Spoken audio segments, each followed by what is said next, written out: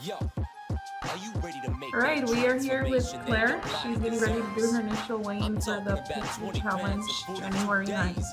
Go ahead and step on the scale. Ready?